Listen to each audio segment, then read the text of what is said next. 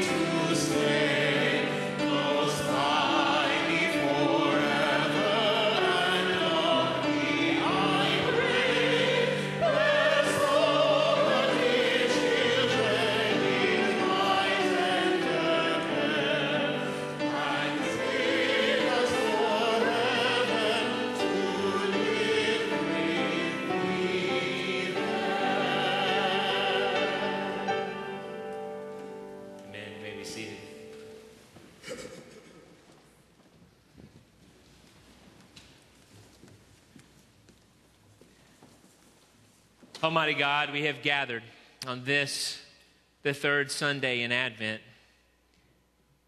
We draw closer to Bethlehem. We draw nearer to the time of Jesus' birth.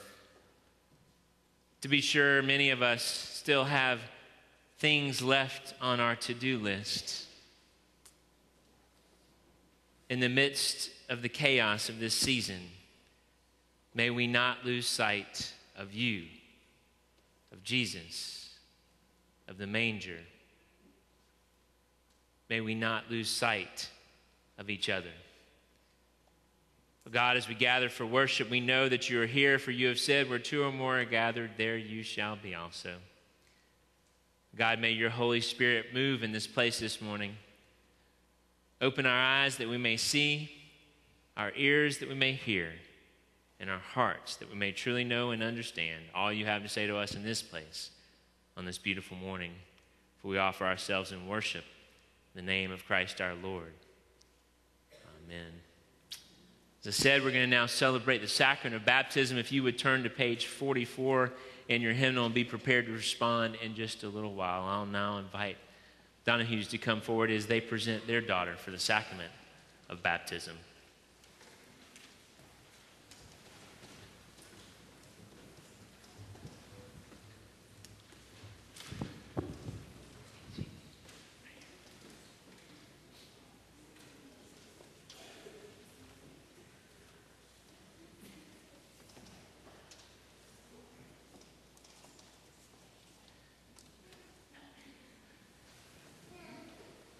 fine right there, buddy. You were just shortly ago, right? I know, right? So, what a special morning. It's always a special morning when we have a baptism, and I love baptisms during Advent. And then, if you're new with us or haven't been around for some of the other baptisms with this family, uh, Dr. Bob's father was baptized in this gown in this church. Um, and that gown is 103 years old, 105 years old. Um, the traditions of the church are so important. Uh, they, they tie us to one another and they tie us to something that's bigger than ourselves. And so we give thanks this day for this family and for this beautiful little girl who we will baptize and the wonderful tradition this family has in our church and the ways in which throughout the years they have been the backbone of faithfulness and stewardship.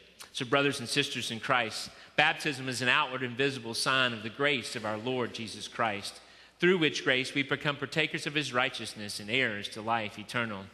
Those receiving the sacrament are thereby marked as Christian disciples and initiated into the fellowship of Christ's holy church. Our Lord has expressly given to little children a place among the people of God, which holy privilege must not be denied them. Remember the words of Jesus Christ, how he said, Let the children come unto me. Do not hinder them, for to such as these belongs the kingdom of God. Do you, in presenting your child for baptism, profess your faith in our Lord and Savior Jesus Christ? Do you therefore accept as your bounden duty and privilege to live before your child a life that becomes the gospel, to exercise all godly care that she be brought up in the Christian faith, taught the Holy Scriptures, and learn to give reverent attendance upon both the private and public worship of God, will you? And will you further endeavor to keep her under the ministry and guidance of the church till she, by the power of God, shall accept for herself the gift of salvation and be confirmed as a full and responsible member of Christ's holy church, will you? Hey, will you come see me? You did pretty good before. Hi, sweet girl. Hi, sweet girl. And what name is given this child? Florence Evelyn, we baptize you in the name of the Father, and of the Son, and of the Holy Spirit. Amen. What you think about that? Huh? What you think? So this is pretty cool, Evie.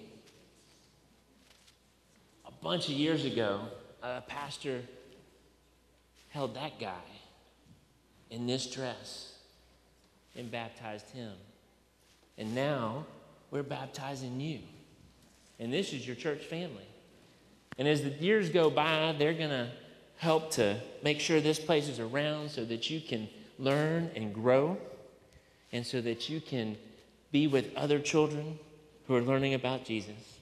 And each of you will be called upon to be good stewards, to be faithful to this church and to this community, so that Evie and all these children that we have been entrusted with might grow in the faith.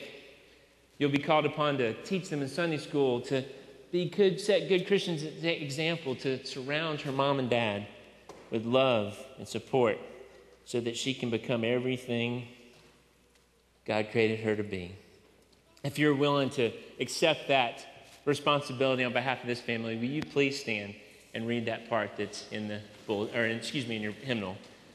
With God's help, we will so order our lives after the example of Christ that this child, surrounded by steadfast love, may be established in the faith and confirmed and strengthened in the way that leads to life eternal. Oh my goodness, you did so good.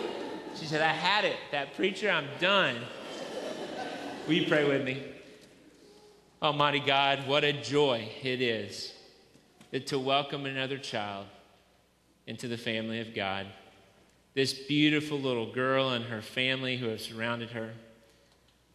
We have made a commitment on her behalf, on behalf of her parents or grandparents or great grandparents. Oh God, may we not lose sight of our commitment to our children to be there for them, to teach them, to love them, to let them know of your love and your grace and your mercy. Bless this family and bless this little girl, for we offer them to you this day in the name of Christ child who is to come. Amen.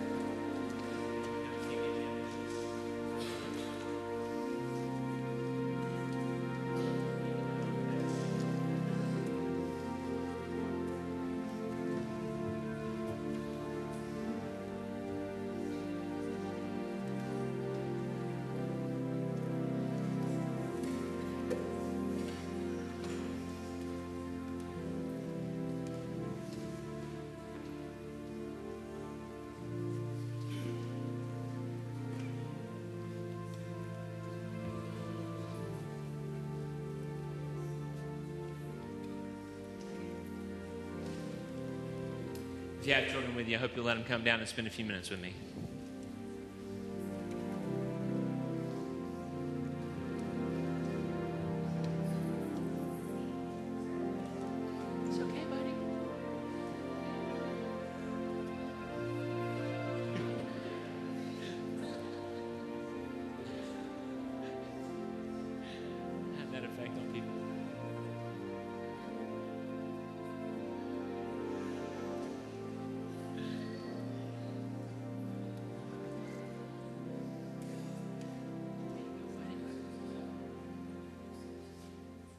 Well, good morning, friends.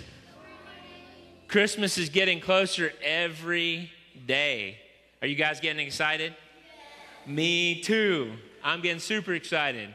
So if you've been, some of you have been here every week, and we've been lighting the Advent wreath, right? So turn around for me, and you'll know. You'll, and I'm gonna need your help. Does anybody remember what the what word we used when we lit the first candle that first week? Does anybody remember?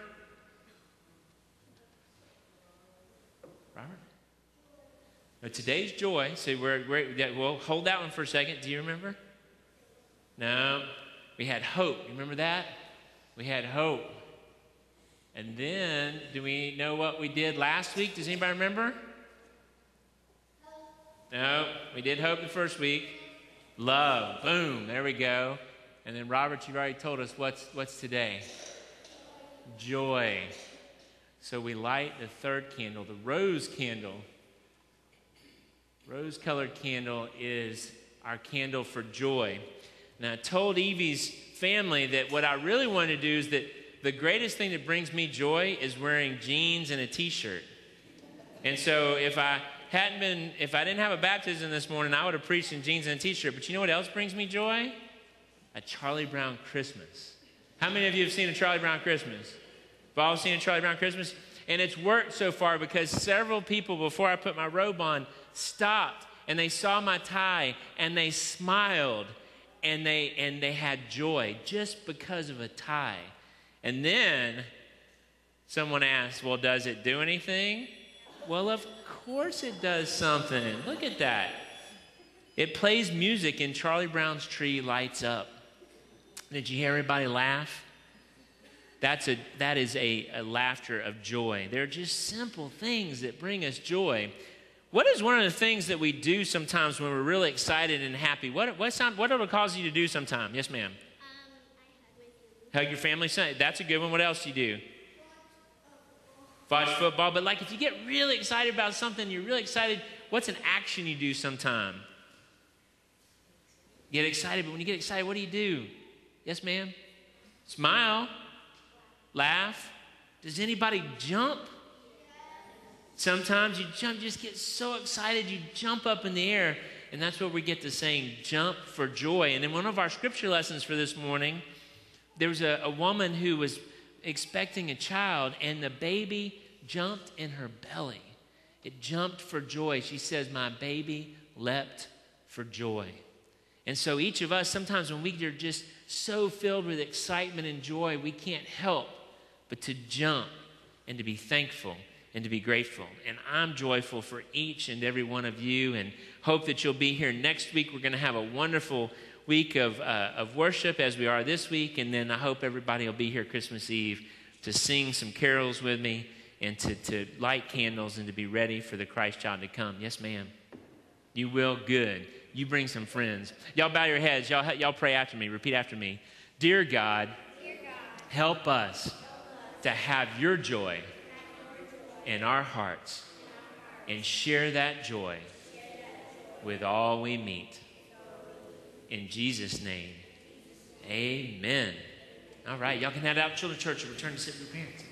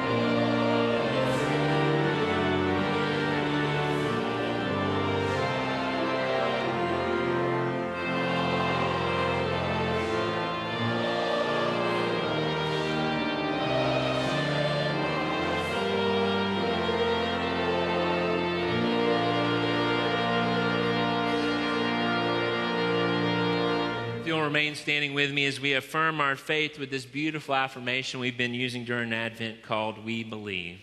Be printed in your bulletin. We are not alone. We live in God's world. We believe in God, who has created and is creating, who has come in Jesus, the Word made flesh, to reconcile and to make new, who works in us and others by the Spirit. We trust in God. We are called to be the church, to celebrate God's presence, to live with respect in creation, to love and to serve others, to seek justice and resist evil, to proclaim Jesus crucified and risen, our judge and our hope. In life and in death, God is with us. We are not alone. Thanks be to God. You may be seated.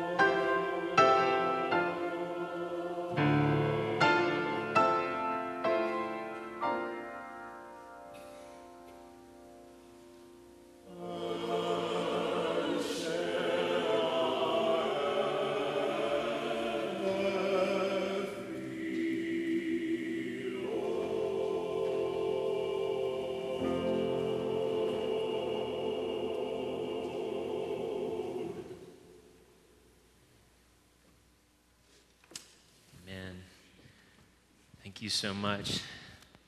As I said earlier, several blessings today, and one of those is that um, the Stotlers are home with us, and I'm going to invite Elliot and Catherine and Kaysen to come on up. Or, or Kaysen, either way, you're welcome to come up. Um, for those of you who are not familiar, they are, are missionaries to South Africa. Um, their oldest two daughters are now married and back home in Georgia, in Atlanta, and coming. Uh, but they continue the good work um, in South Africa, and I will not take their thunder. I will let them tell you about all the wonderful ministry they are doing in South Africa on our behalf and on behalf of many others. Number one. There we go. It is a joy to be with you this morning, to be back in Atlanta first, what we consider to be our home away from home. Um, Elliot and I are involved in several different areas of empowerment. Mine is mostly educational. Elliot is mostly economic, and ours together is spiritual. I have seven different schools that I work with um, each week, and we, um, we sing songs and, and play games and make crafts, and all surrounded by God's creation story, learning more about the world around them and the Lord. So I'll let Elliot tell you what he does. My area of ministry is economic uh, empowerment, and uh, many of the people in the area that we are in, rural area, are very impoverished. And so our uh, empowerment ministries focus on providing business skills so that they can start small businesses. Some of them are agriculturalists. Some of them, uh, you know, make uh, fabrics and, uh, and clothing and sell them within their communities. We provide them not just business skills, but we also provide scripturally based lifestyle, and character skills so that their businesses are God centered and uh, hopefully will be much more successful because of that. And that's been what we've done uh, for the last two years. We also started a microloan program so that uh, person who, let's say, wants to sew dresses can purchase a used sewing machine and get started in business, and then they pay back that loan uh, throughout the time that we're studying uh, God's Word together.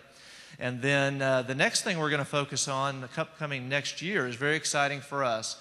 One of the things that uh, our area of ministry uh, struggles with is poverty, and many of the pastors in our area uh, do not have formal educations. They're very passionate about what they do and that they want to share the gospel, but they really don't have the training to be able to do that. And so we are partnering with a local church who has a vision for strengthening uh, the local pastors in order to uh, develop the kingdom better throughout our area.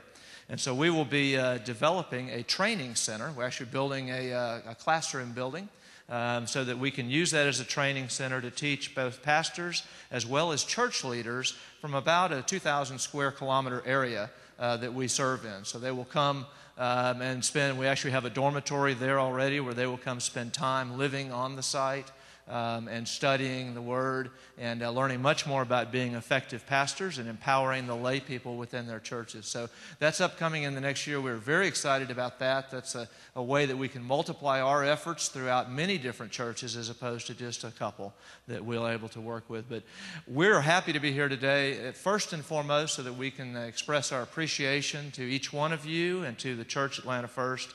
Uh, for their support throughout the year um, they've been one of our initial supporters and make a huge difference in what we're able to do while we're uh, about our kingdom work in South Africa. Um, but it's, it's more than just the financial support. We know that when we come here, uh, we find uh, support and encouraging words from each one of you, and we take that with us throughout the year as we go about our ministry activities. Just remembering you individually and remembering how much uh, you have supported us and been a part of our walk for these many years. So thank you so much for having us here today. Before you go, so the, I didn't ask you this. This, this is a dangerous thing for a preacher to do. You mentioned the folks that you're in ministry with and the poverty there. But then you talked about these pastors and their, their incredible uh, passion for ministry. Sunday on which we discussed joy. In the midst of that, do you find joy? And if so, what does that look like in the context of ministry that you find yourself? Resilience, um, smiles on faces. Um, these folks don't have a lot, but they're very happy with what they have. They're happy that their children are healthy. They're happy that their children have a school to go to. Um, some of them have jobs, and they're happy that they have a job so that they can um, help support their family. Um, just immense joy. We also find uh, that most of what our ministry is all about is developing relationships. And, and out of those relationships, we never know quite what's going to happen. Um, and so we have a lot of surprises uh, um, when the light bulb goes on or when we get an embrace for somebody, when somebody invites us into their home. Um, that's the joy that we find in our ministry, is when we see God at work in their lives and in the lives of the relationships that we've been able to form with them. So that brings us great joy and it gets us through the challenging times, which there are a few here and there. um, but, uh, but we also see joy in, in their, uh, in their eyes, uh, their hopefulness, their joy. Uh, they can take uh, any small occasion to, uh, to sing a song or, or, or have a dance or something. Um, that just shows their joyfulness. Great. Thank y'all so much. We all give them a warm welcome as they. Thank you. Thank you.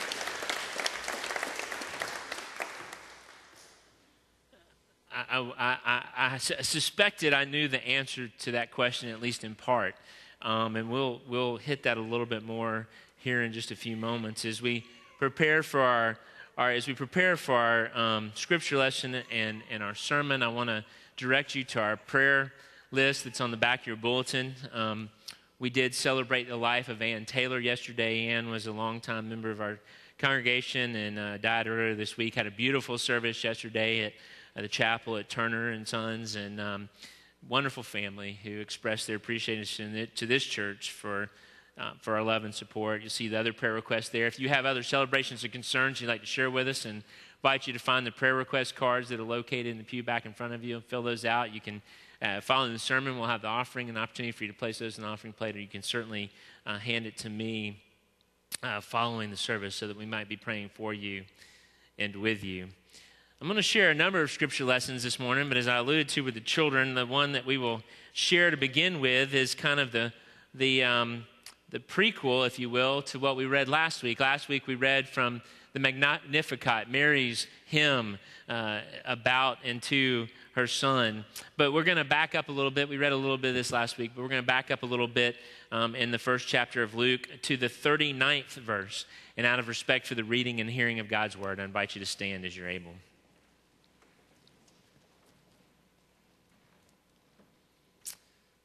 Mary visits Elizabeth. And in those days, Mary set out and went with haste to a Judean town in the hill country, where she entered the house of Zechariah and greeted Elizabeth. When Elizabeth heard Mary's greeting, the child leapt in her womb, and Elizabeth was filled with the Holy Spirit and exclaimed with a loud cry, Blessed are you among women, and blessed is the fruit of your womb. And why has this happened to me that the mother of my Lord comes to me?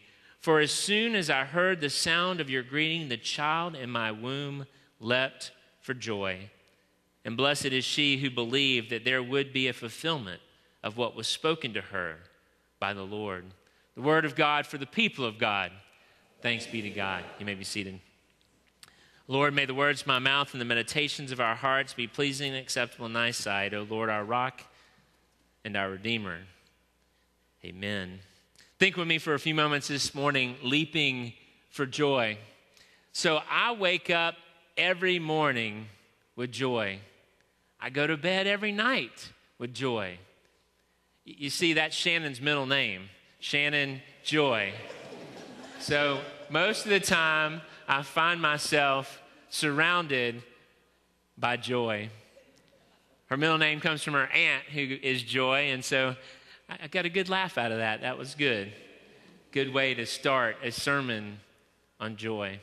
She does bring a lot of joy, as does my son and my mom and our family and our friends. Catherine and Elliot talked about joy in a very difficult context.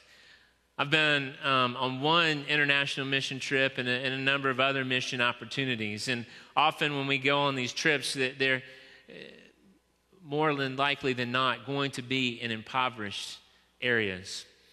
My one trip several years ago was to Honduras, and we went to a village uh, not far from a ranch that's owned by a local ministry here called HOI, Honduras Outreach. We went to that ranch that over the years has been, or we went to that village that over the years has had schools and facilities built by the ministries of HOI. The wonderful thing I love about HOI, and the same thing about what Ellie and Catherine are doing, is there's, there's a consistency there. We don't have folks going in and out, and you know, one, one hand doesn't know what the other is doing. When you're going to have long term impact in the mission field, there must be consistency and continuity. You must have folks like the Stotlers on the ground who begin to immerse themselves in the culture, understanding the true needs of the people. Uh, Americans kind of like to go and, and build buildings and lay brick and feel good about ourselves when that's not always what they need. Sometimes what they need are a few dollars to buy a sewing machine and some fabric. And, and, and the, the values that we have aren't necessarily the values that they share. But I never will forget the first day that the children came to us as we were sharing a vacation Bible school with them and the incredible joy that I saw on their faces. Even within this group of children, there was kind of a spectrum of socioeconomics. Even in the country of Honduras, there were some children whose uniform shirts, these children in Honduras had uniforms that they wore to school. Some of their shirts were white and crisp, clear that they had had the opportunity to be washed and kept clean and ironed. Whereas other children's shirts were dingy and dirty and worn and tattered. But across that entire spectrum, they would come every day with smiles on their faces and they would leap for joy as we played games and even through the language barrier. We would see this incredible joy on their eye, in their eyes and in their hearts. Catherine alluded to it a little bit, I think, and, and, um, and I think one of those things that brings them such great joy is a contentment with what they have. And, and we, we know the saying, ignorance is bliss. Sometimes not knowing what we don't have can help us to appreciate what we do have. Now, hear me clearly. I'm not suggesting that, that we want a world in which children live without the basic necessities. But what I am saying is that in those places in the world where folks do have something to eat and, and a roof over their head and a family around them, even if they don't live in the largest of homes or have the latest, greatest gadgets, maybe in spite or in because of that, they have incredible joy that comes with a contentment that brings about peace. And so this morning we start, and there's several, as I said, several scriptures that I want to share with us this morning about this and a couple of quotes that I think are particularly important. And, and so, um, and so I will, I will share all of these with you in an effort that as we make our way through these final days of Advent, as we look toward the day of Christmas, we continue to get our priorities straight. We continue to be ready, to be ready. Several years ago, I, I had a sermon titled Fixing to Get Ready. That's what we do in the South. We're fixing to. So we, we join this wonderful reunion with Mary and Elizabeth. And no sooner than, than Elizabeth hears Mary greet her, this child in her room, womb leaps for joy. It was interesting. I, I, I wanted to just Google joy. I wanted to see if I put in Google what joy was because you, we all, most of us who know anything about the internet and know anything about search engines know a couple things. There are two ways that, uh, that, that, that uh, results are returned in a search engine. One is people pay for those results to be returned. Um, they pay for the ability to have their, their whatever they're promoting to be first. The second thing we know is that it's how many times people have searched for that and what they have searched for. If, if you've ever had a question about something and you start typing it into Google, you will know that Google will recognize that. And you'll realize how many other people have asked that exact same question. It was fascinating. Last week, there was an article about the most frequent Googled health terms.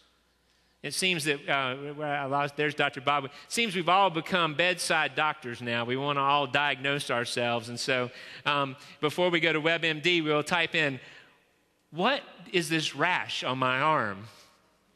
And when you start typing in something, I promise you it will auto populate because there are other people who have asked that same question. So I typed in joy.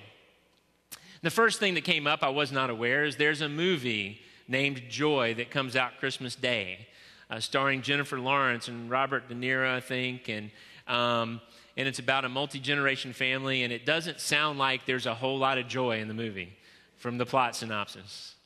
But being a blockbuster film with, a, with a, uh, an actress who commands attention in Hollywood, the first handful of, of returns on that, on, on my search for joy, were all about that movie. But then, you know, if you've searched in Google recently, then the next thing that you see are images associated with joy. And all of the first handful of images were of people in the air leaping for joy. We're in the height of football season.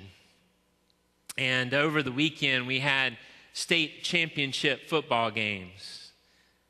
And in every occasion, when that clock would strike zero, the team that had won, the first thing that those players do is they leap as they make their way onto the field to join their teammates. And they continue to leap and jump and embrace yesterday afternoon. It's been a, a, several years since I've watched the Army Navy game. It was a great game yesterday afternoon, a well fought game. Um, I, I, I, feel Army's pain. Um, my Yellow Jackets have lost um, 16 out of 21 times to the University of Georgia, and, and Army has lost 13 straight to their arch rival, Navy. Navy had these incredible helmets that were hand painted. I think there were seven different themes on their helmets. And, and the game was great, but at the end, well, first at the beginning, the tradition and the pageantry, and then at the end, they each sing their alma mater. And the players were leaping up to the stands to be held by the midshipmen and the cadets as together they sang their institution's alma mater. It was incredible pageantry and tradition. And what was incredible is there was joy in the eyes of both the losers and the winners because at the end of the day, they all knew that they were on the same team once the game was over.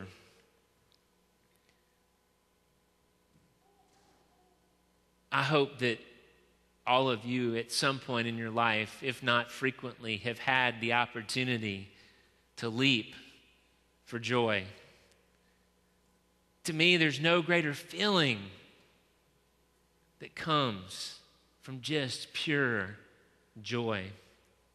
I have these, these, these feelings all the time, and I joked around about Shannon, but I think, in spite of the fact that I spend a lot of my time around Shannon Joy, I do my best throughout the course of the day to find joy in other ways. I think it's shared with some of you that I ran the, the Thanksgiving Day 5K and I knew it was, I knew I felt good. I knew it was a beautiful morning. I knew that that things were kind of in a good place. But I crossed the finish line and I looked down at my watch and I had set a PR. And there was just a smile that I, I mean, there was, I'm by myself. I wasn't running with anybody. I'm by myself, by myself in the fact that I didn't know anybody around me. Others were continuing to flood past me as they finished. But I, I had this sense of joy, of accomplishment, of a goal, of something that I had set forth. The greater joy came a couple of weeks later when um, uh, it's Facebook. Last y'all were so kind last week to sing happy birthday. I had a wonderful birthday. I had a wonderful birthday afternoon that included varsity and the golf course. It doesn't really get a whole lot better than that. Um, I'm just going to be honest with you. Um, and so, one of the one of the expressions of greeting was from Dr. Lewis Birdseye, who you've heard me speak of before. He was my 10th grade English teacher and my cross country coach in 11th grade. And Dr. Birdseye is, uh, being an English teacher and, a, and a, an incredible um, master of the English language, wrote more beautifully than what I'm going to say, but essentially he said, um, Good young men become, or good, good students and good people like you become good men later in lives. What he said gave me far more credit, but the fact that over these many years, and he lives in Oregon and over these many miles, to receive a greeting like that from him brought me incredible joy. Now I've talked about receiving joy, but but we also we also use our joy or we, we're called upon to bring joy to others. There were a couple of quotes that I found, both from Mother Teresa. And one was Joy is prayer, joy is strength, and joy is love. And joy is a net of love by which you can catch souls. I, have got a whole collection of Christmas ties. Some of them are fancy, some of them are, are goofy. But this morning, several of you got caught in the net of joy when you saw my tie and I saw you smile. I promise you that if, if one Sunday, instead of me preaching, we just showed a Charlie Brown Christmas, we'd probably have a packed house. There's something about this, this gloomy little character who, who brings out the best in all of us. And we love things that we press buttons and uh oh, there it goes. The battery's wearing out. Promise you, whether it's this tie or one of my other Christmas ties, I wear them.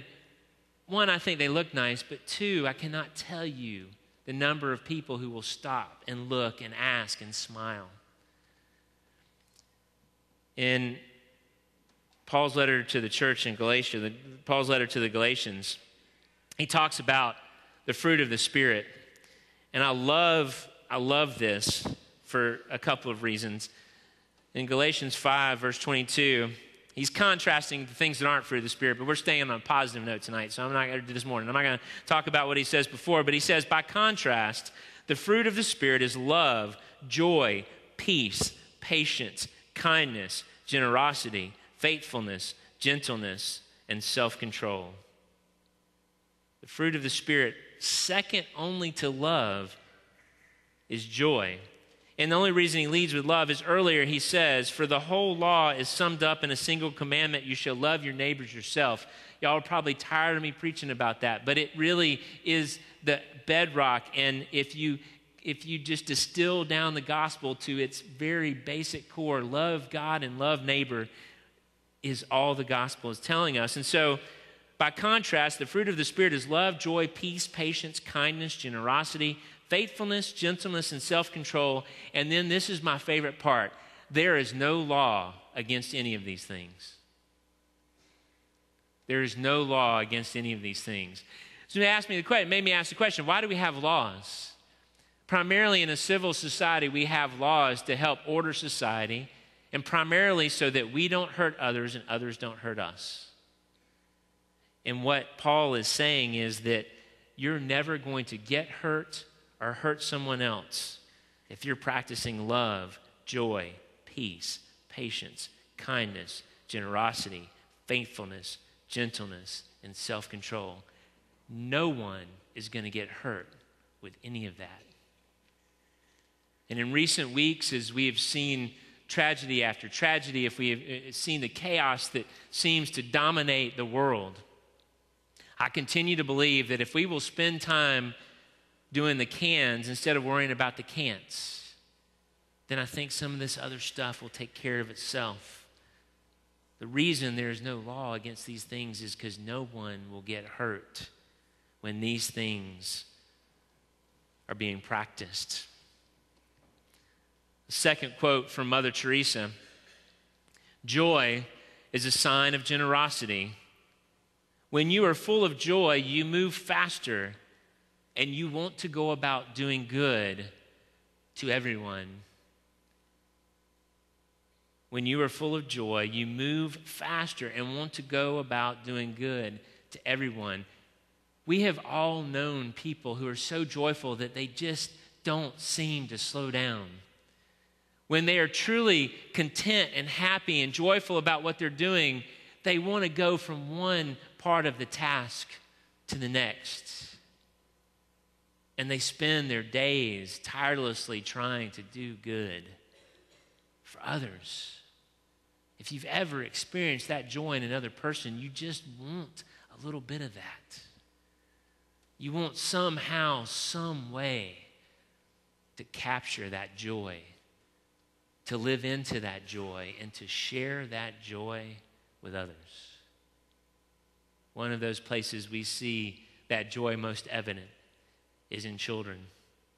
The unbridled joy that comes from the most simple of things. And as we get older, it's not things that bring us joy, but it's people and memories. My final word on joy for this morning. One of the things that brings me joy is great memories. I reached in my on my shelf of Bibles. I've got two full shelves of paper hardback Bibles. I got a whole bunch of them in here too, but but there's something wonderful about an old school King James Version red letter edition.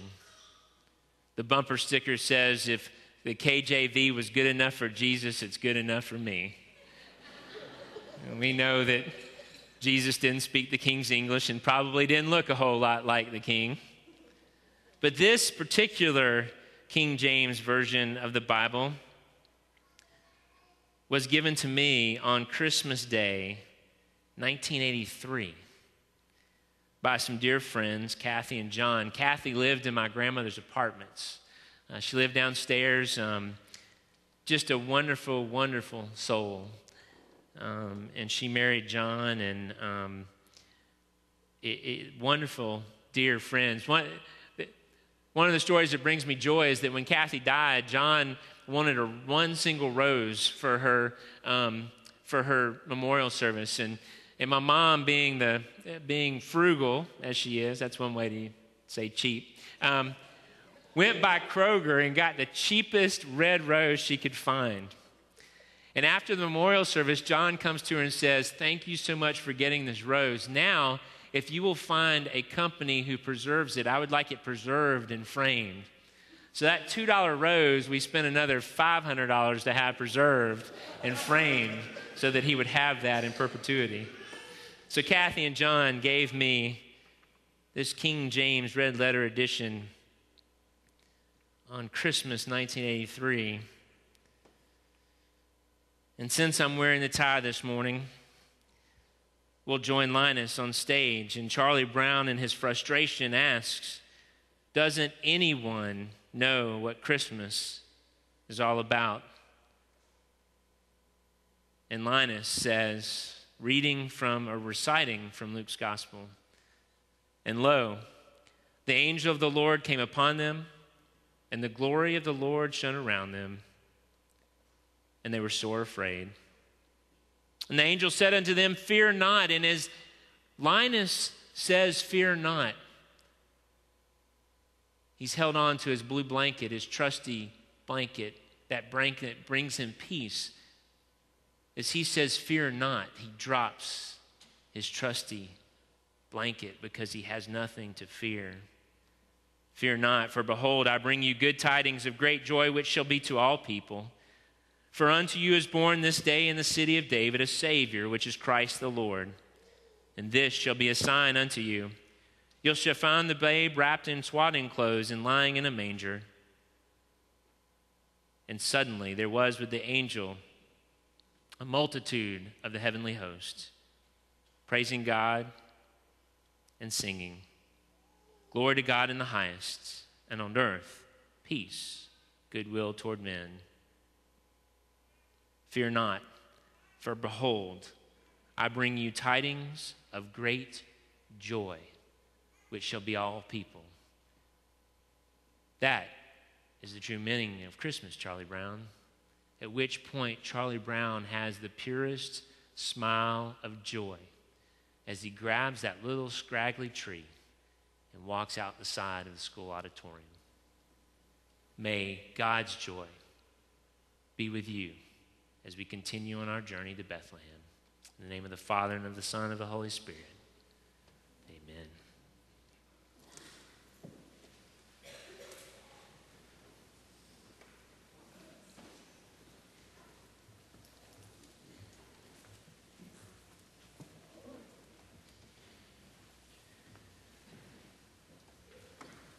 Almighty God,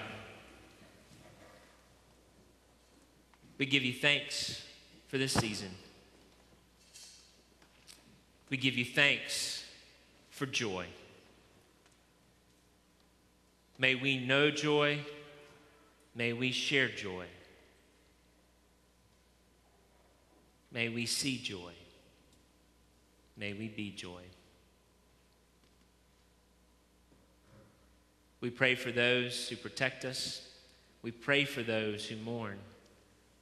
We give thanks for those who bring us joy. And oh God, we give thanks for the greatest gift the world has ever known. We bring our prayers and we offer now our gifts. In the name of Christ, who taught us to pray with one voice Our Father, who art in heaven, hallowed be thy name. Thy kingdom come, thy will be done, on earth as it is in heaven. Give us this day our daily bread, and forgive us our trespasses, as we forgive those who trespass against us. Lead us not to temptation, but deliver us from evil. For thine is the kingdom, the power, and the glory forever.